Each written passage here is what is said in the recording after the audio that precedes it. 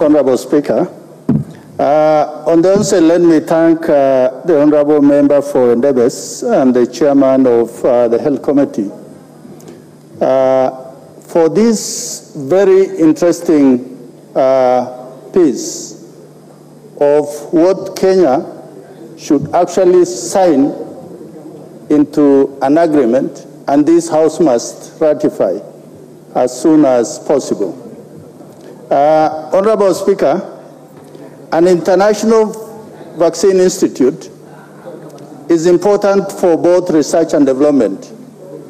Uh, today, scientific institutes are intended to extend the frontiers of science and medicine. And as such, it was during the outbreak of Ebola in West Africa, and also slightly later, the pandemic of COVID, is when we saw the importance of having uh, these vaccine institutes, where those countries that are advanced in medicine and research were able to consolidate and mobilize scientists across the world to save humanity. And for that reason, from our side, I think we look at how much KEMRI is doing in this country in terms of research on new diseases and in terms of discovery of scientific methods and approach to both uh, medicine, both curative and preventive. And also helping the Ministry of Health under the WHO guidance on surveillance of diseases, particularly tropical diseases in uh, the less developed countries.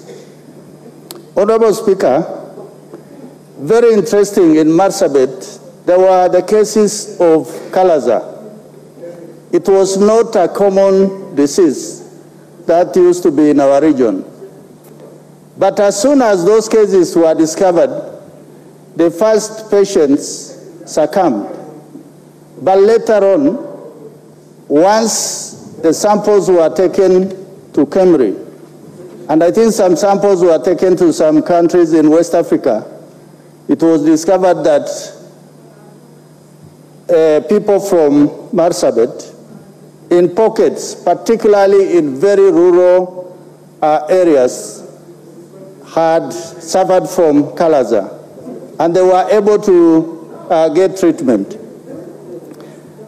Honorable Speaker, the world has made quantum leap, particularly in terms of scientific research in medicine.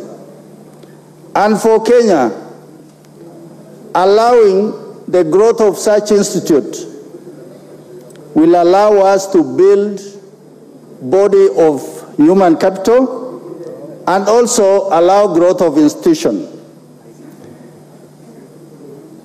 From where I sit, when we talk about institutes like IVI or even KEMRI and others, uh, not necessarily just in health, but also in agriculture, I see that there is a need to have satellite uh, institutions of these major institutions that are based in Nairobi to be able to expand that frontier of knowledge, to be able to uh, do good surveillance, discover of these diseases.